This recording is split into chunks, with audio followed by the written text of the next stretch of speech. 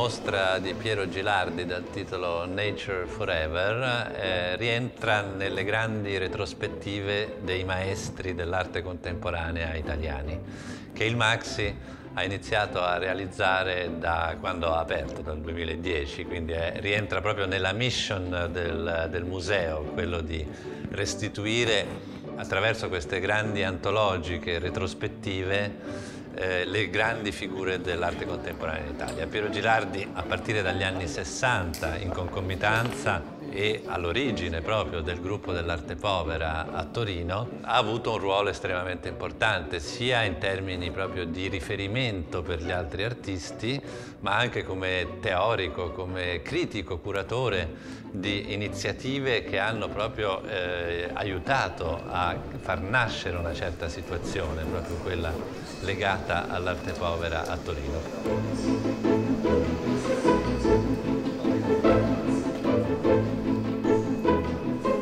Ci sembrava giusto restituire non soltanto eh, il Piero Girardi artista, ma eh, restituire a 360 gradi la figura di Piero Gilardi nelle sue varie declinazioni. Quindi Piero Gilardi attivista, Piero Gilardi eh, teorico, Piero Gilardi promotore culturale, eh, tutti questi aspetti in mostra sono restituiti attraverso tutta una serie di documenti oltre alle opere d'arte che lui ha realizzato nel corso della sua vita, anche attraverso un'estesa documentazione di video, fotografie e documenti originali che restituiscono davvero la complessità e l'importanza della sua figura dagli anni 60 ad oggi.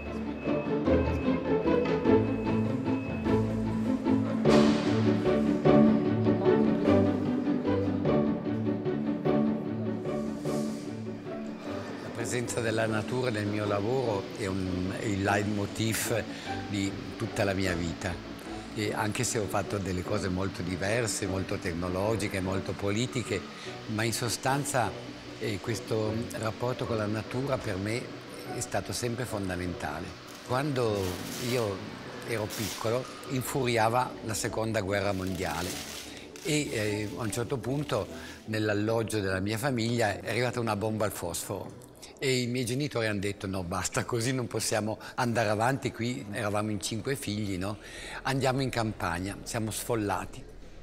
E quindi io da sei mesi a tre anni ho vissuto sfollato ma in una bellissima campagna delle Prealpi. Questo ha nutrito il mio inconscio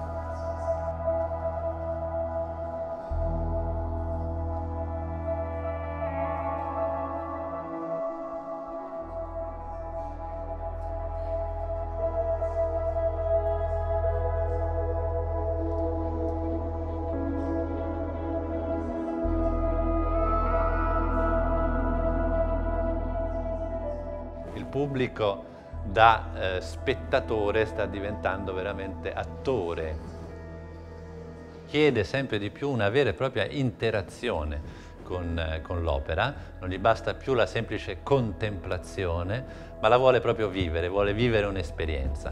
E Piero Gilardi in questo è in assoluto il maestro, il precursore di opere che danno proprio la possibilità al pubblico di eh, interagire con l'opera d'arte, a partire proprio dagli anni 60, a partire dai tappeti natura, che non erano pensati per essere attaccati ad una parete, ma erano proprio pensati per sdraiarcisi sopra, dormire, giocarci, cioè proprio interagire con l'opera, tanto che sono di questo materiale molto morbido che permette proprio questa, questa interazione, per andare poi svilupparsi poi nelle grandi installazioni e nelle opere interattive con la tecnologia, che eh, rafforzano ancora di più questa idea dell'interazione con il pubblico e eh, per confermarsi anche, ad esempio, anche nelle sue attività da militante politico perché sono proprio delle maschere da indossare.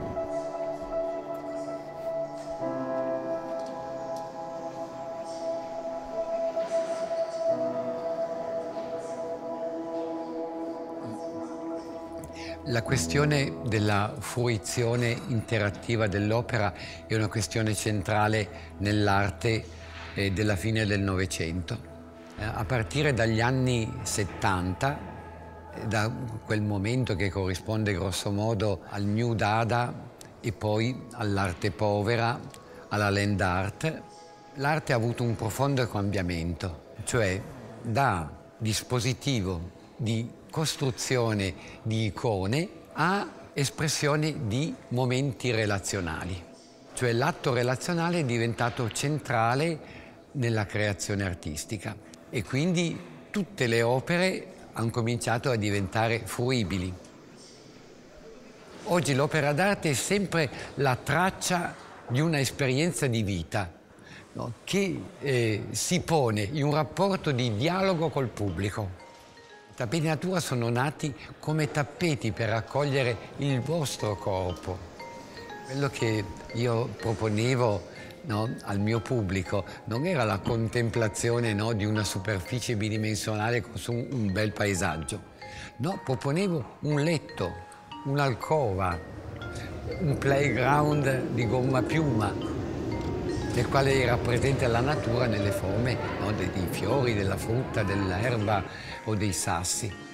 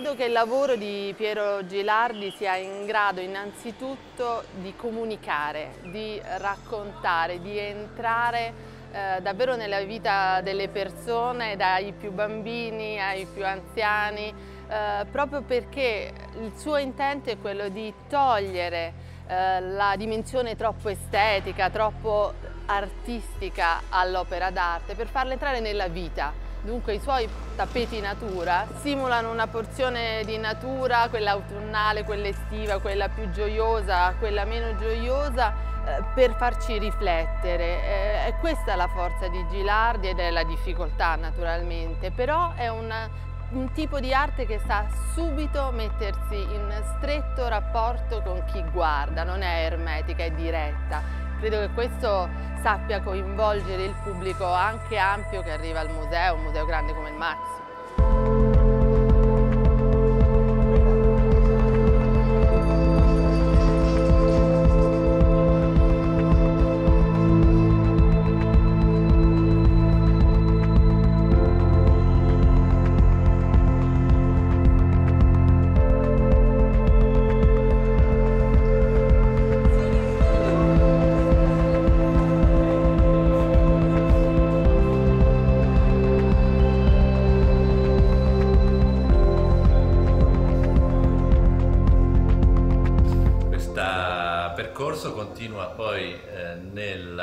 Periodo degli anni Ottanta invece, dove Piero Gilardi scopre in qualche modo che eh, i suoi temi tradizionali, quelli legati più alla natura, all'ecologia, alla partecipazione del pubblico nell'opera, eh, si sposano perfettamente con lo sviluppo della tecnologia e quindi inizia un percorso che lui chiama New Media Art che porta l'arte a integrarsi con tecnologie eh, che rendono l'opera interattiva. E quindi abbiamo selezionato una serie di opere tra cui un bellissimo ambiente eh, proprio degli anni Ottanta che si intitola Inverosimile che è una vera e propria stanza dove il pubblico potrà entrare e in questa stanza succede di tutto.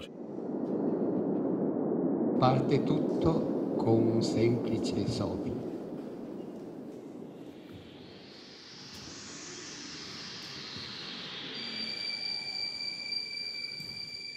Se ragioniamo, se troviamo un nuovo modo di stare insieme, possiamo forse evitare le guerre, possiamo forse evitare le tentazioni. Ecco, ci mettiamo in rete, troviamo il modo di collegarci tutti, ognuno con la sua differenza, con la sua soggettività, si connette con gli altri. Ma noi dobbiamo essere pronti ad accettare la diversità, l'alterità degli altri per poter sviluppare un mondo nuovo.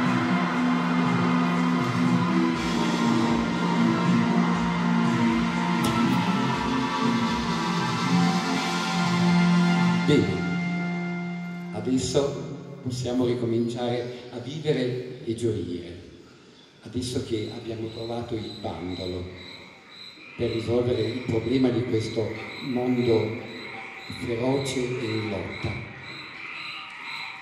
Anche gli animali, sentite, le rane non ci invitano, dobbiamo metterci insieme e trovare nella danza nel danzare insieme, nella nostra prossimità, il piacere.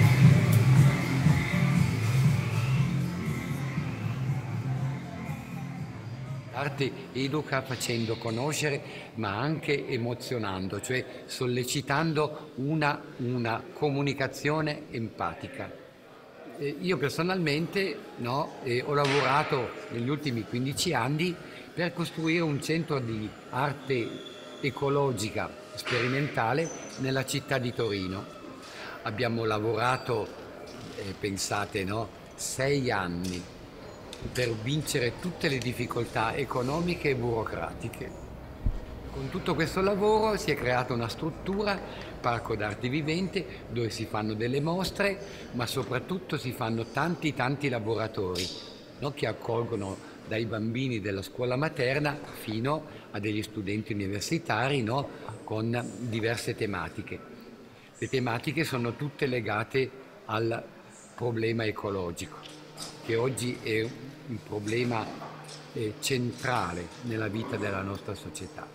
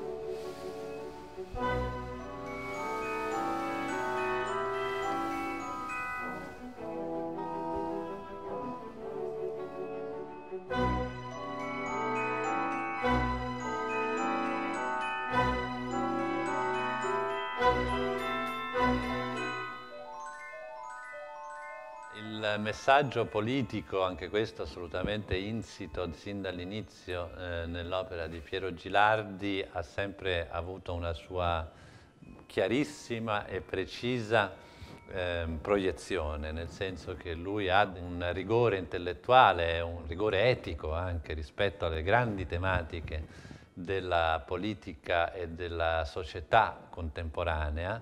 E oggi credo che siano anche estremamente immediate e di facile lettura e di e immediata lettura da parte di un pubblico che ormai è abituato a queste dinamiche.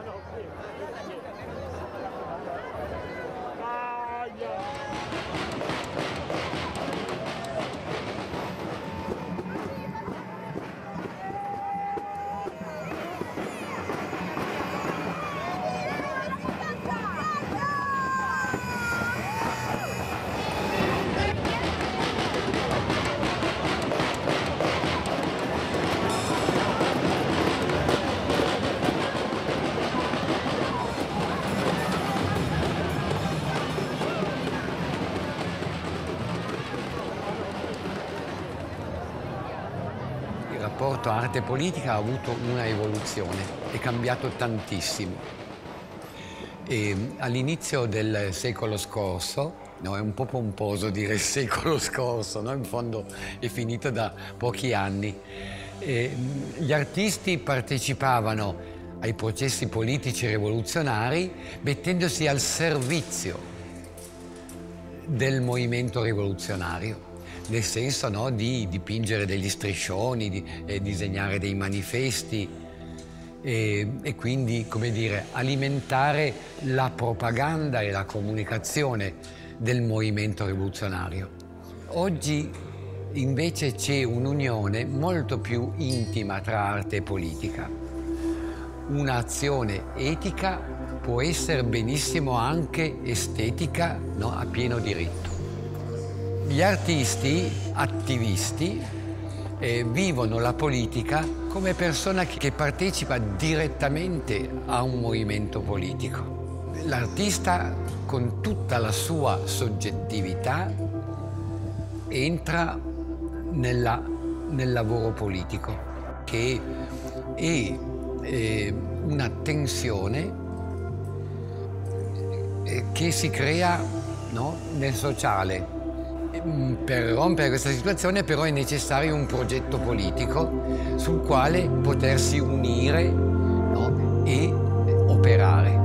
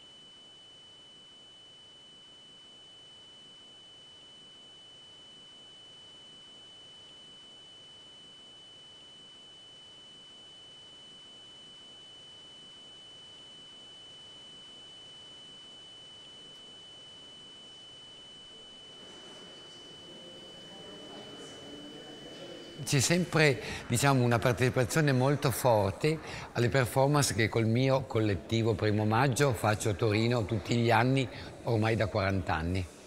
No? Cioè, eh, bastano due maschere, due oggetti no? che le persone lungo il corteo si scatenano no?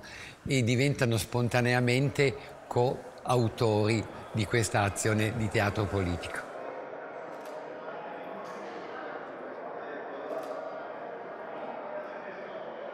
Il ruolo dell'artista nel panorama contemporaneo credo sia nullo eh, perché l'artista non viene percepito onestamente dal grande pubblico eh, come il portatore di innovazione politica, almeno allo stato attuale. Quello che può fare è eh, portare a riflettere, ma diciamoci la verità, porta a riflettere un pubblico già avvezzo a pensare con la testa propria, ad andare nei musei, a visitare le mostre, a porsi delle domande davanti alle opere.